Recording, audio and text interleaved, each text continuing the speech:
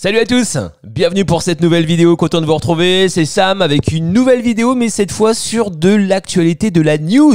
Oui, ça y est, on y est, on a des nouvelles d'une nouvelle Switch. Alors vous le savez, hein, il y a beaucoup de rumeurs qui circulent concernant une nouvelle Switch, ces rumeurs font bon train depuis des années maintenant et euh, notre bonne vieille Nintendo Switch qui commence à galérer hein, sur certains jeux next-gen, euh, notamment dernièrement par exemple sur du Doom Eternal où on aurait souhaité avoir une plus grande fluidité, une meilleure résolution, même si le jeu est très très bien porté. Hein, c'est Panic Button qui s'est chargé euh, du portage. Dernièrement, ils sont occupés de Apex Legends qui tourne super bien aussi.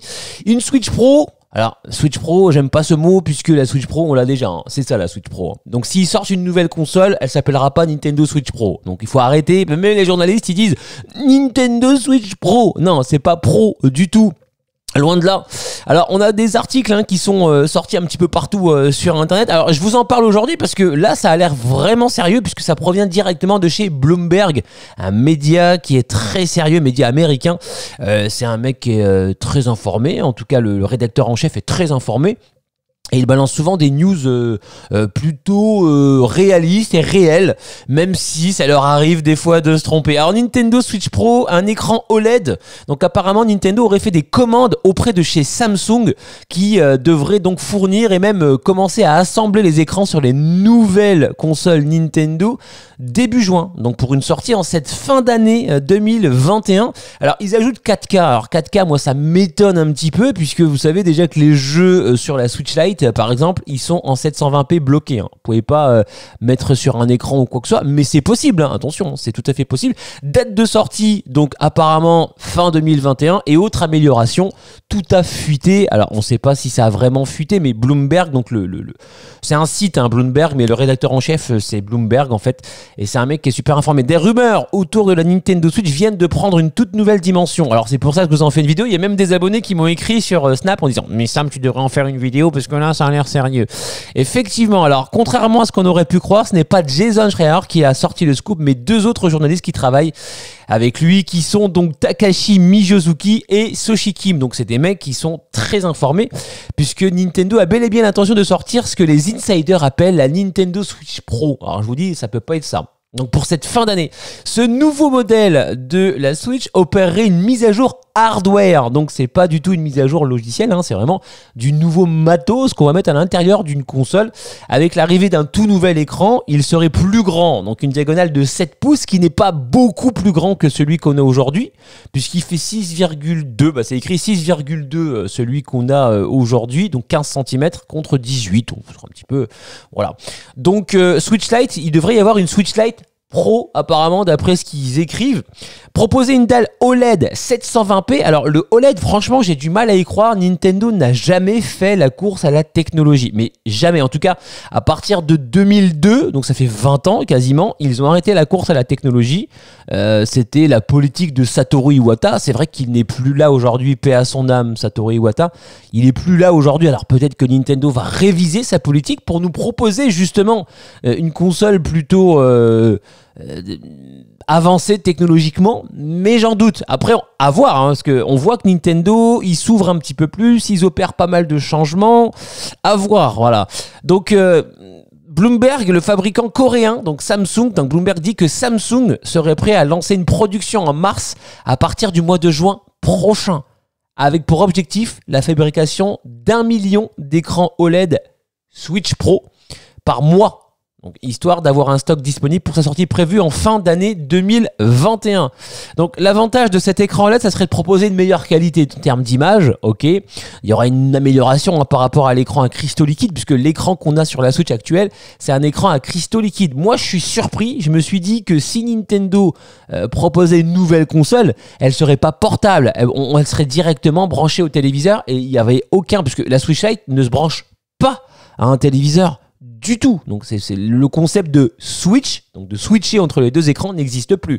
Donc je me suis dit, vu qu'ils ont fait une Switch Lite qui se branche pas du tout à la télé, ils vont nous sortir une Switch qui se branche uniquement à la télé, ce qui serait logique en fait. Mais beaucoup euh, de journalistes pensent que ce n'est pas possible que la Switch, même s'il y a, une, une, Switch Pro, enfin 4K qui sort, eh bien, elle serait donc euh, euh, branchée euh, à la télé, ce qui serait vraiment cool. Hein. Mais moi, par exemple, quand je réponds aux enquêtes de Nintendo, Nintendo fait des enquêtes. Souvent, ils posent des questions. Voilà, comment vous jouez à la Switch et tout par mail.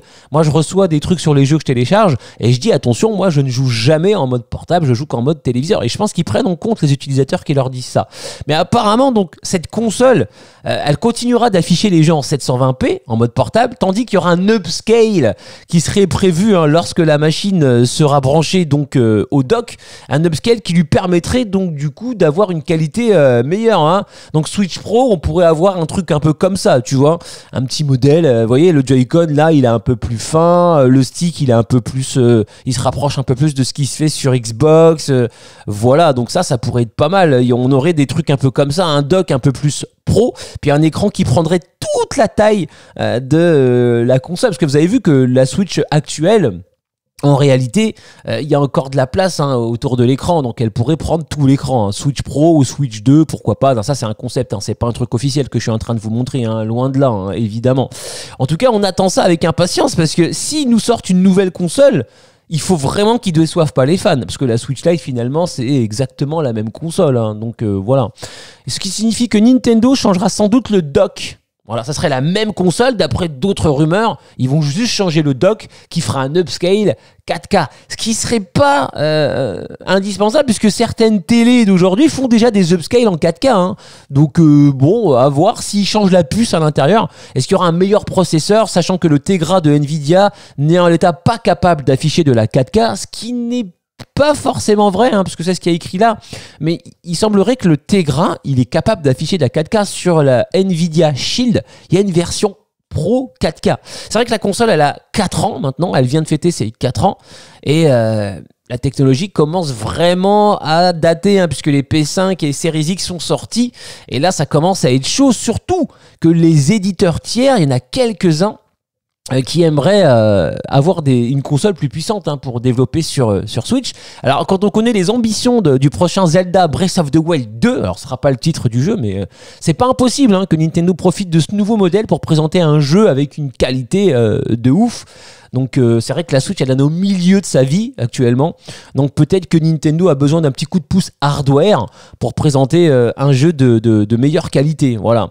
Donc depuis euh, l'arrivée de ce modèle, on attend tous un modèle pro. Hein. Donc voilà. Et ça fait longtemps hein, que des rumeurs pro sont là et qu'on n'en entend plus parler. C'est vrai qu'à bout d'un moment, on n'y croit même plus. Une Switch 4K, une Switch Pro, une Switch machin, une Switch plus puissante et tout ça.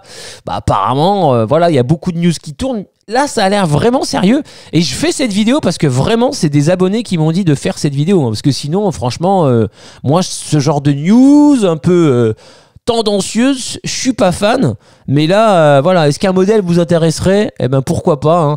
En tout cas, s'ils sortent une Switch Pro, il va falloir repasser à la caisse. J'imagine qu'on va devoir payer à nouveau une Switch. Hein. C'est-à-dire que ça va pas être compatible avec la Switch actuelle. Ah là, non, pas du tout. Non, non il va falloir repasser à la caisse. Est-ce que les anciens modèles euh, de manettes, de Joy-Con, etc. seront compatibles avec la nouvelle Switch? Tu vois, ça, c'est des questions qu'on se pose. Parce que j'ai lu aussi dans les rumeurs qu'apparemment, il y aurait des jeux qui seraient développés exclusivement pour cette Switch Pro. C'est-à-dire qu'il y aurait des jeux pour les éditeurs tiers et qu'il y aurait déjà un jeu qui serait en cours de développement pour ce modèle 4K, ce modèle Pro, et que ce jeu, d'après les rumeurs, serait Cyberpunk 2077.